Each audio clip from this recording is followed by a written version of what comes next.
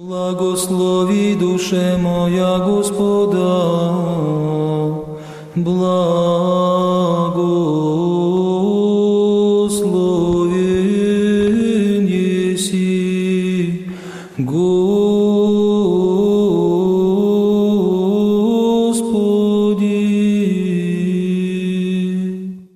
Здравствуйте, дорогие братья и сестры! Сегодня в пятницу, в день памяти святой равноапостольной великой княгини российской Ольги во святом крещении Елены, за богослужением читаются два евангельских зачала. Одно посвящено памяти святой, это Евангелие от Луки, глава 7, стихи с 36 по 50, и рядовое чтение дня от Матфея, глава 15, стихи с 29 по 31. Послушаем это евангельское зачало в прочтении отца Александра.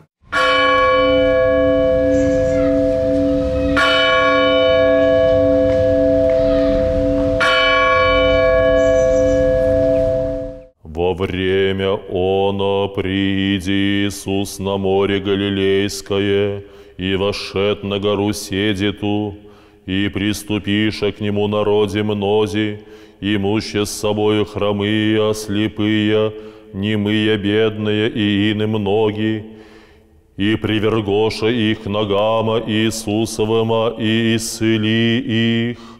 Яко же народом дивитеся, видящим немые глаголюща, бедные здравы, хромые ходяща, и слепые видяща, и славляху Бога Израилева.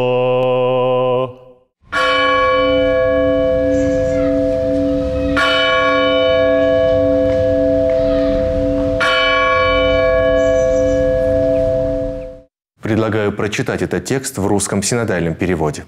«Перейдя оттуда, пришел Иисус к морю Галилейскому, и, взойдя на гору, сел там.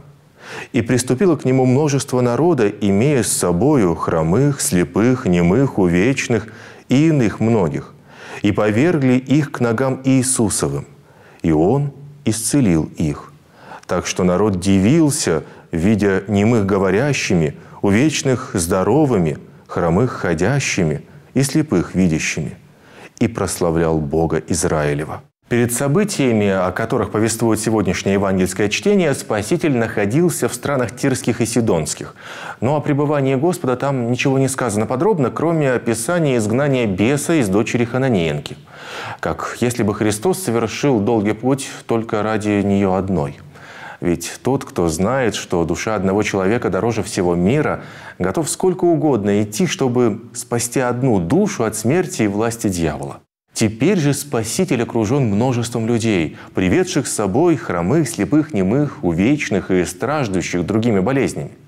Пройдя Десятиградие, Спаситель, по словам евангелиста Матфея, подошел к Галилейскому морю, вероятнее всего с востока или с северо-востока – Толпы людей следовали за ним, и где бы он ни остановился, тотчас же собирались вокруг него.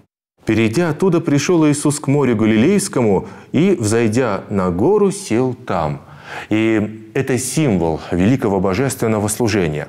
Господь восходит на гору ради высоты своего божества и научая подниматься от земли тех, которые желают приблизиться к Богу, ибо Он – Спаситель мира, открытый для всех и приступило к нему множество народа, имея с собой хромых, слепых, немых, увечных и иных многих, и повергли их к ногам Иисусовым. Ефимий Зигабен поясняет, обрати внимание на их укрепившуюся веру. Больше уже не прикасаются к краю одежды, но только повергаются к ногам Иисуса, и Он тотчас исцеляет их. Не потому, что они имели большую веру, чем Хананеенко, но потому, что были иудеи. Эти люди прошли длинный путь, чтобы собраться вокруг Спасителя. Они несли и вели с собой множество больных и увечных, чтобы, как говорит евангелист, повернуть их к ногам Иисуса. Стоящий здесь греческий глагол «рипто» означает «бросать», «кидать», «сбрасывать» или «класть».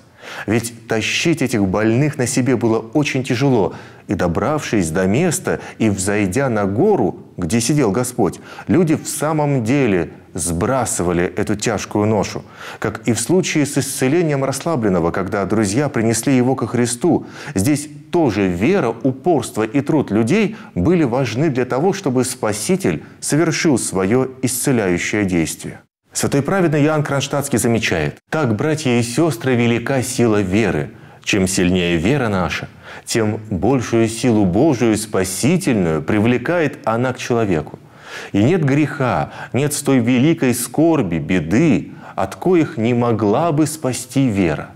Она грехи очищает, от страстей избавляет, демонов прогоняет, скорби врачует, болезни исцеляет от смерти избавляет, мертвых воскрешает, врагов превращает в друзей, грешников в праведников. Она горы переставляет, она всякие чудеса совершает. Вера в чудотворную силу Спасителя была так велика, что никто из приведших к нему больных не просил его не прикоснуться к больному, не даже сказать слово, чтобы больной выздоровел, как это бывало прежде. Подходящие теперь к Иисусу молча повергали больных к ногам Его, зная, что Он сжалится над ними. Ведь их страдания и беды говорили красноречивее любых слов, и Он исцелил их. Так что народ дивился, видя немых говорящими, увечных здоровыми, хромых ходящими и слепых видящими, и прославлял Бога Израилева. Святитель Кирилл Александрийский пишет – они еще не узнали достоинства Господа, что Он есть Бог, но считали Его простым человеком. Поэтому и воссылали славу Богу Израилеву. Иудеи называли Творца Богом Израилевым, потому что были народом, избранным самим Богом из всех народов земли, а Отца Небесного считали исключительно своим Богом. Строки сегодняшнего евангельского чтения, дорогие братья и сестры, в полной мере повествуют о милосердии и благости Иисуса Христа. Слово «Христа» подкрепляется делом во всем его служении. Именно дело утверждает подлинность слова, и слово раскрывает значение дела. Но Господь совершает многочисленные исцеления не только для того, чтобы показать, что Он пришел воплотить то, о чем говорили пророки, он исцеляет больных, потому что жизнь каждого человека цена в его глазах. Спаситель желает показать, что сила веры способна творить чудеса.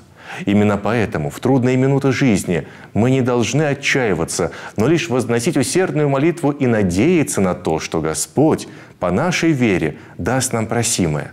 Потому что благодатная вера является великой силой, соединяющей человека с Богом. Помогай нам в этом, Господь.